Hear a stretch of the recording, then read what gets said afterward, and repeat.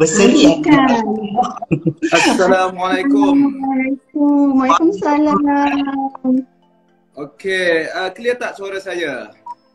Clear Saya- Sifu. Alhamdulillah saya Clear. clear. Aham. Tak function ni. Okey, so terima kasih dari untuk majalah Nona yang sudi menjemput saya yang tak seberapa ni ya. Uh, Alhamdulillah ramai dah masuk tu. Okey, so apa khabar? Tak seberapa. Tonton. Tak seberapa. Apa khabar? Lama tak jumpa.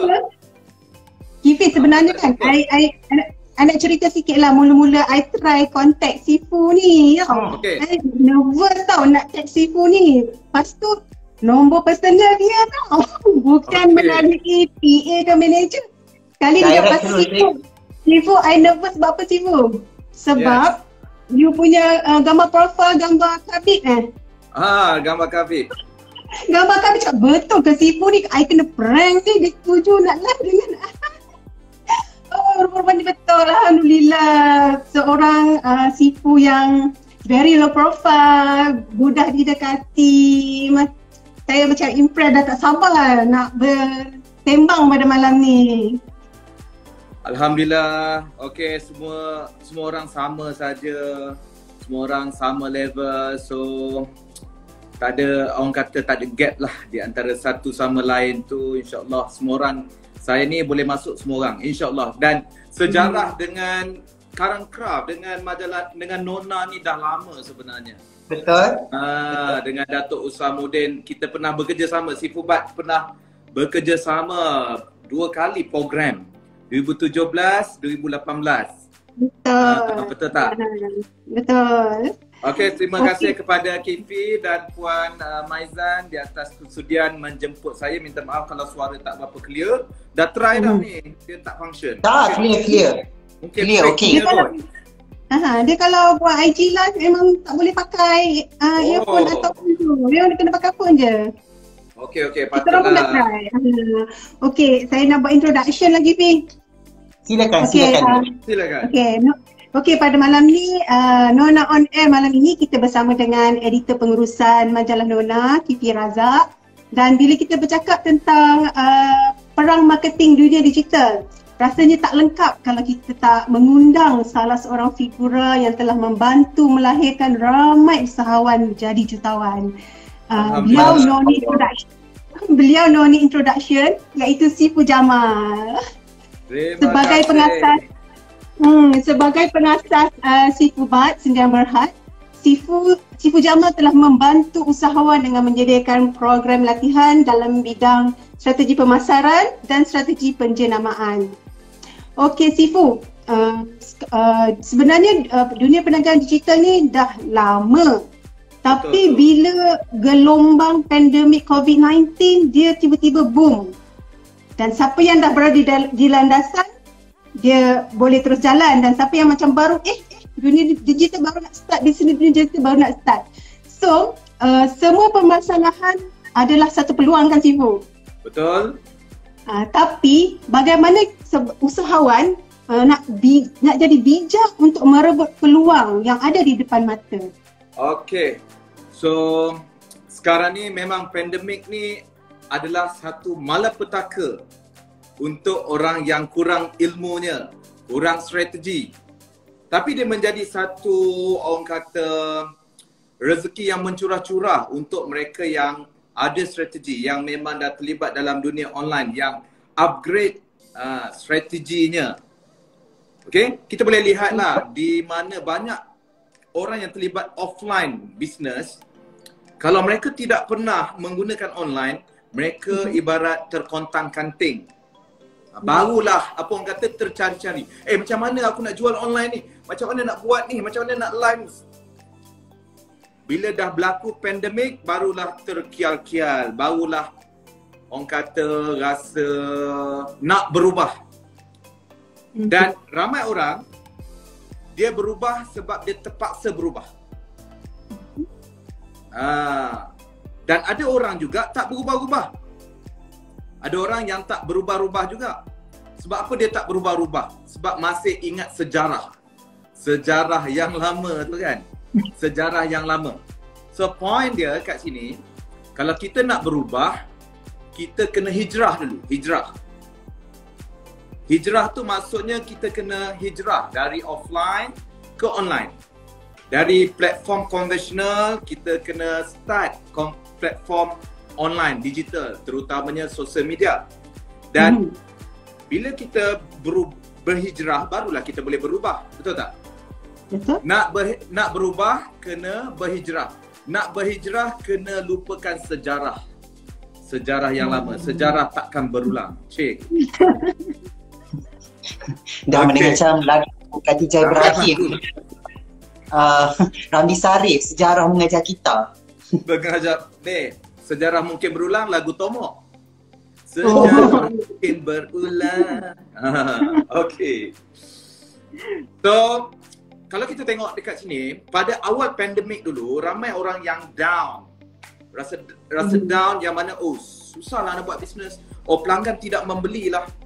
Tapi Hmm. untuk mereka yang think positif, dia fikir orang membeli, membeli, membeli, membeli. Cuma cara membeli berbeza. Pattern membeli Hmm. berbeza. Betul? Mhm. Dan juga uh, kategori pelanggan yang wujud semasa krisis ni juga dah berbeza. Jadi di sini kita kena kenal pasti siapa bakal pelanggan kita, Mhm. apa pattern pembelian dia dan Mhm. bagaimana kita nak approach dari segi marketing kita, dari segi sale kita, dari segi branding kita. Jadi saya pada peringkat awal pun rasa ish orang tak beli ni, covid ni susah ni. Macam mana nak buat? Saya sendiri pun jadi down. Jadi saya tengok balik pengalaman-pengalaman yang lepas yang mana orang jatuh boleh naik. Kemudian saya study, ada research dari kajian University Oxford bagaimana waktu krisis kita boleh bangkit. Ha. So dari situlah saya jumpa formula-formulanya yang saya share. Yang mana formula Mhm. tu dia pecah kepada dua. Satu Okay. adalah pattern pembelian berubah. Mhm. Maksudnya kalau dulu orang beli contohlah contohnya orang beli apa ya? Contoh cerik ni lah. Kalau dulu orang beli adalah adalah disebabkan keperluan dia. Ha, sekarang ni dah tukar keperluan menjadi keinginan. Maksudnya bukan keutamaan dah. Ha, Betul. bukan keutamaan dah. Contoh ada orang nak beli kereta tapi bila berlaku COVID dia tangguhkan. Jadi Betul. pattern pembelian ni berubah. Dia ada empat. Satu adalah keperluan wajib Mhm. beli. Mhm. Yang kedua adalah wajar untuk dibeli. Ha, dia lebih kepada keinginan. Mhm. Keinginan. Dan yang ketiga, postpone. Orang boleh tangguhkan. Ha, contohlah bila berlaku COVID, mungkin orang tu asalnya dia nak buat renovate rumah. Tapi dia tangguhkan. Mhm. Ha, macam saya sendiri nak beli uh, satu kereta ni, Mhm. tapi ditangguhkan. Relax dululah. Ha, tunggu Mhm. habis COVID lah. Dan satu lagi, yang terakhir, pattern pembelian tu adalah satu macam pembaziran. Relax dulu, tak beli pun tak apa. Ha, itu pattern pembelian. Dan kategori pelanggan pula dia pecah pada empat. Yang pertama, orang yang tercekik. Orang yang hilang kerja, orang yang kena potong gaji. Jadi mereka ni akan berjimat. Mereka ada masalah buying power yang menurun.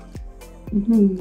Kalau dulu gaji RM3,000, sekarang dulu makan KFC, sekarang tukar ayam goreng RM1 tepi jalan. Ha, sebab dia dah berubah. Betul? Dia dah berubah.